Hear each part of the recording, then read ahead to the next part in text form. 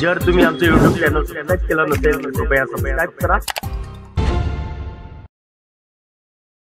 पाणी फाउंडेशनच्या सत्यमेव जयते water cup दोन हजार एकोणीसची पारोळा येथे तहसीलदार कार्यालयात प्रदर्शन व कार्यशाळा घेऊन सुरुवात करण्यात आली.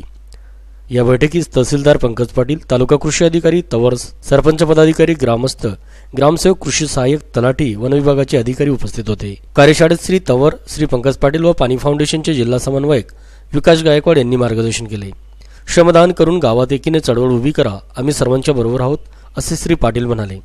जलयुक्त शिवार पोखरा व मनरेगासारख्या योजनांमध्ये लोकसहभाग खूप महत्त्वाचा आहे. मागील वर्षीप्रमाणे याही वर्षी कृषी विभाग तत्पर असेल असे श्री तवर म्हणाले. श्री गायकवाड यांनी राज्य पातळीवरील बक्षीस पारोळा तालुक्यात नक्की येईल असा विश्वास यावेळी व्यक्त केला. त्याकरता त्यांनी असे मार्गदर्शन केले. या प्रदर्शनात जिल्हा पुरवठा अधिकारी जीप सदस्य हिम्मतराव पाटील कृषी उत्पन्न बाजार समितीचे उपसभापती मधुकर पाटील तालुका आरोग्य अधिकारी मोरे स्वामी समर्थ माध्यमिक विद्यालयाचे तीनशेहून अधिक विद्यार्थी व शिक्षक असे एक हजाराहून अधिक नागरिकांनी भेट दिली.